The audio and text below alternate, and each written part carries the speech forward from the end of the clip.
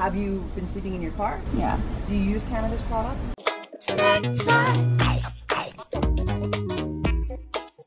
Hello, lovers, and welcome back to Travel Snacks. So, today I'm going to be talking about how Canada hates travel snacks and didn't want to let me over the Vancouver border. All right, I'm being super dramatic. But today is a story time about how I did truly get detained at the Canadian border. Since I'm documenting my car life journey, I did film me driving up to the Canadian border and I got to the guard gate and it was still recording. So, although you can't see the guard, which is good because I don't know if that's illegal, I did get our conversation on video so you can hear our conversation. Now, in all fairness, I probably should have thought this through a little more when I was going up to Canada. I've been to Canada plenty of times, but in the past, I've gone to the East Coast. This creeper is walking up to my car with his dog. Keep it moving, keep it moving. Every time I've gone to Canada in the past, I've gone to the East Coast, to Montreal or Toronto, and I've taken a plane. So when I go to the area where they do passport control and stuff, it's always at the airport. And they do question you and stuff, but it's a little bit more common sense and easier to get through. Now, this time I'm driving in a car and I didn't really think about it. The first thing she asks me is to roll down my back window. And as soon as she did, I was like, shoot, like she's gonna see that I have all my blankets and stuff in the back seat, which is not a problem but I wasn't prepared because I'm like, I wonder how does that look? Well, apparently that doesn't look too good when you're trying to cross into the Canadian border because they're probably like, yo, you trying to flee the United States and come live in Canada?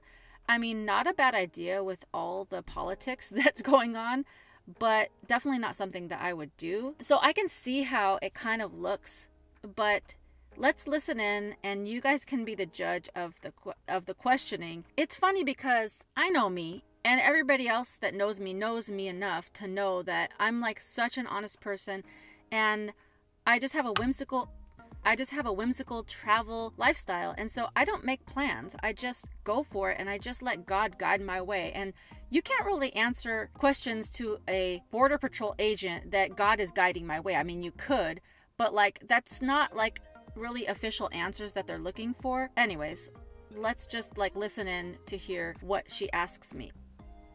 Bro, there's like literally a Mountie behind me on his horse. Is it a Mountie? It's definitely a horse. Oh, for real. Somebody's on his horse. It's Canada. I made it in, by the way, but let's talk about the story.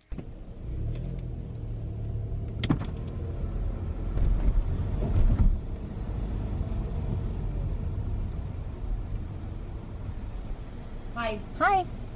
Could you just roll down the back window when you get a chance, please? Uh, yes. Where do you live? California. Hold on, let me. You want to pull that shade down?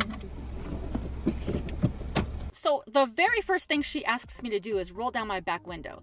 I guess that's probably to see if there's anybody back there or if you have any contraband or whatever. But she's literally going to see that I'm kind of living in my back seat.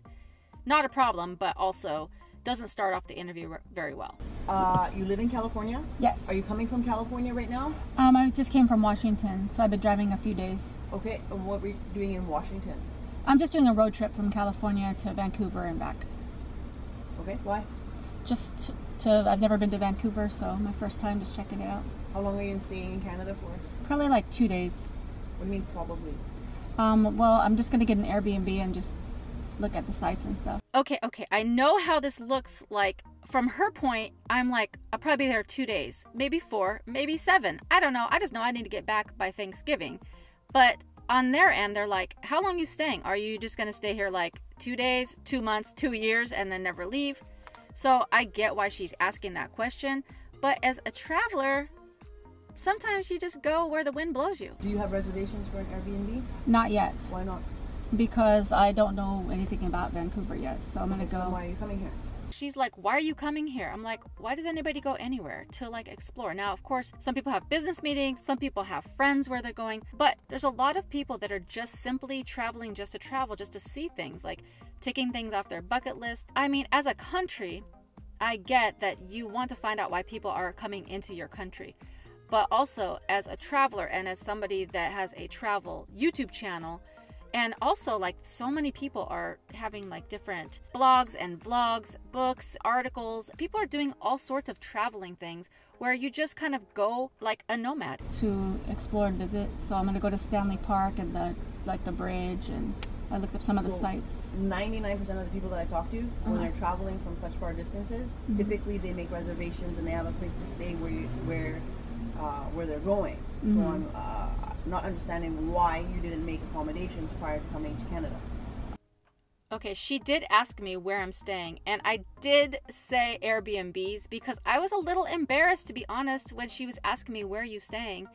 And I didn't know if I was going to get in trouble by saying living in my car because. Okay, the story continues, but if you want to know more, hit the subscribe button and the notification bell and just give it a quick like. I mean, this is a great story. There's rules and regulations, you know, you can't just be sleeping any old where. And in my mind, I didn't couldn't really think that fast to think like people can camp like people do just come to other countries and go camping at campgrounds and like different places and they go on hikes and stuff but at that moment i was like i guess i'll just like at that moment i was just like i'm staying at airbnbs so of course the next line of questioning is why haven't you made reservations? Which totally makes sense. Now i wonder if i would have just said well i'll be sleeping in my car what would have happened? But i didn't want to like take that chance. And also i might stay at an airbnb one or two of these days but probably not. I, I mean this car living has been totally fine. But you know i don't know. I'm just trying to get through this interview. So I'm uh, not understanding why you didn't make accommodations prior to coming to Canada. I don't know the area, so like if I want to stay like closer to like a certain area, I don't know how big Vancouver is. Okay. some of the questions i'm a very honest person so i was like i don't know where i'm going to be staying specifically because i don't know about vancouver i don't know if i'm going to want to stay near the water in the forest i don't know if i'm going to stay on the street i don't know if i'm going to stay near a park i mean how's a person sp- i mean you got google so of course you're going to look stuff up but like also what if I legit do want to get an Airbnb? I could just pick an Airbnb, but what if I get it and then I want to stay somewhere that's clear across the other side of Vancouver? Then I've just booked myself into an Airbnb. So I don't think it's unreasonable to say that you don't have accommodations. I think I might be maybe an exception because a lot of people do like to have plans, but there's people that don't, like me. Have you been sleeping in your car? Yeah. Why? She says, Have you been sleeping in your car? And I'm like, Yes. And she says, Why? Which totally falls in line with every other person that has basically said, Why would you do that? Are you crazy? What are you doing? But to me, I'm like, What do you mean, why? Because it's saving me a lot of money, and why not? Do you use cannabis products? No. Any firearms or weapons in the car? No. Alcohol, tobacco, or cannabis products? No. Are you meeting anybody here?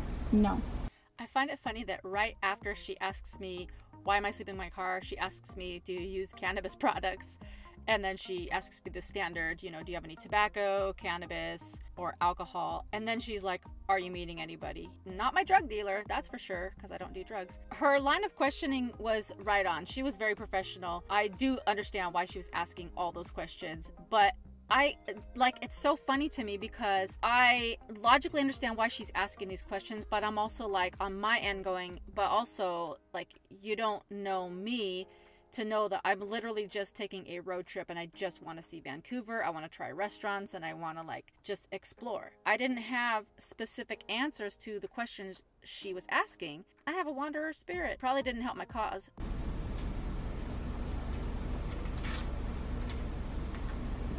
Go to the stop sign, stay to the left. The officer's going to show you where to park, and go inside to the A lineup, please. Okay. Thank you.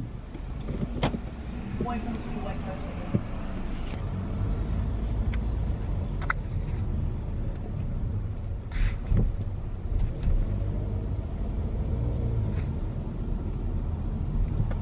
And so then you just hear her ripping the paper off, like, yo, girlfriend, your answers do not satisfy me. So she's like, pull up, you're gonna have to get out and go in. Okay, so I pull up to the parking space, and the other guard was like, okay, get out of the car and hand me your yellow piece of paper. So I was like, okay, now at this point, I turn off my camera because I'm like, okay, this is getting a little official.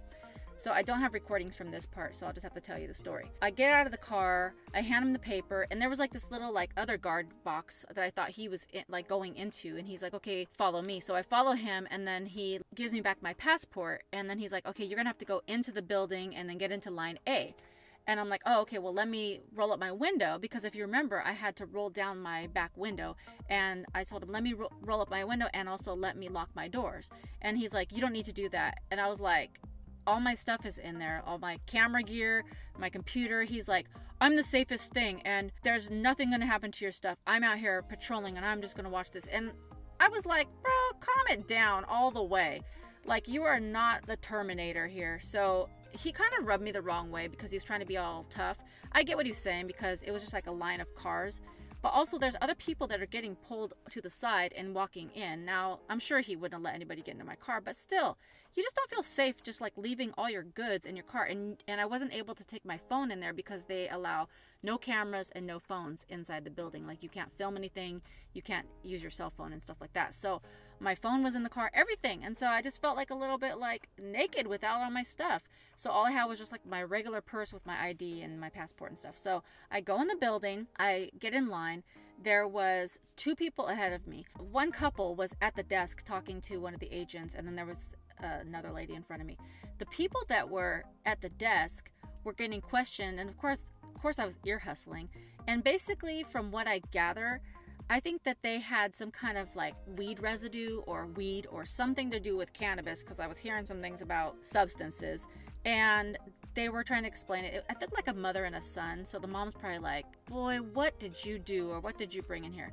I don't know. It's funny because back when the lady was questioning me, I get that like on the West Coast, it, I, it dawned on me that that like Washington and California both have legal, legalized pot. I think Oregon too, but I don't know. I'm not like all into that. I understand why when people come into Canada, they're probably like, is everybody bringing in? Oh, my other light just went out, so it's gonna be a little weird on the color. Anyways, so they're probably like, is everybody bringing in cannabis products to Canada, which I totally get. So, anyways, they were having their interview and I was waiting in line. Then the other lady in front of me, this other guard pulled her to the side and was questioning her. She looked like she was about to cry.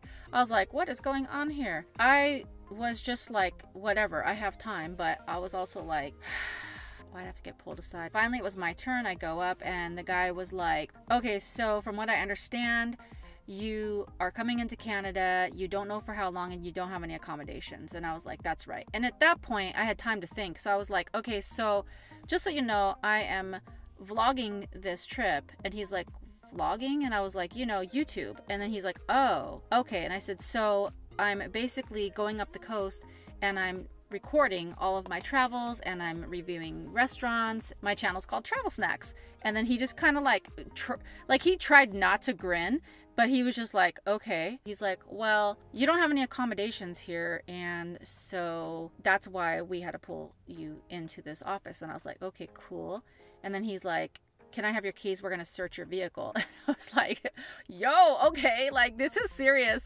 So he's like, Is there anything in your car that's going to poke us or stab us or anything? And I was like, No. And so he's like, Okay. So I gave my keys. And then I just felt like violated. I'm like, Oh my gosh, all my travel snacks are in there, all my stuff, all my camera stuff, just everything. It, it makes you feel weird to have somebody just going through your car, going through your stuff. And so, and they won't let you go out with them. So they could just do anything. I'm not I'm not accusing anybody anything. Canadian border people. I'm just saying like it's just a bad feeling. He gets my keys, he walks outside, him and the other Terminator type guy, he they are like going through my things. I could kind of see outside and they were like going through my stuff. And so I was like, whatever, I ain't got nothing to hide, so it's fine but I had my camera on the dashboard and so I'm like, "Oh my gosh, they're going to like know that I filmed coming over the border and they're going to ask me to delete it." And I don't know if that's legal and I can't look because I don't have my phone on me. I don't know what my rights are here in Canada. I was just like, "Whatever. If they ask me to delete the footage, I will." And so finally he comes back in. He's like, "Miss Sharpe, you can come up to the counter." So I go over there and he's like, "Okay, you're telling us that you have a YouTube channel and you're filming these travels. And I'm like, yes. He goes, what is the name of your channel again? I'm like, Travel Snacks.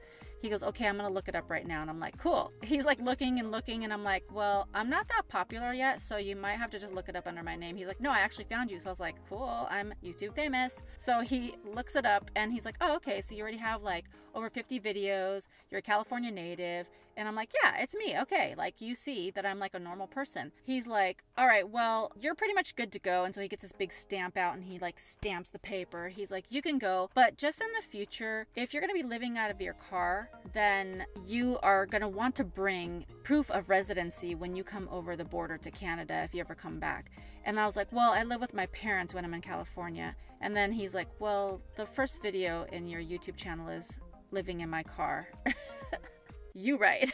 he wasn't giving me like a hard time. He was just kind of like, you know, it, you know, the video's saying one thing, and I was like, you got a good point. He's like, good luck, have fun, and then he let me leave. And so then I had to give the yellow paper back to Terminator Rambo dude.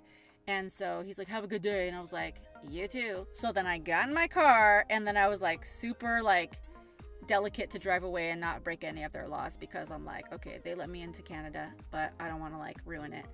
So I drove off and then I just drove straight into downtown Vancouver and it was beautiful and awesome. So it was well worth it. I did get detained at the border, but I think Canada must love travel snacks after all.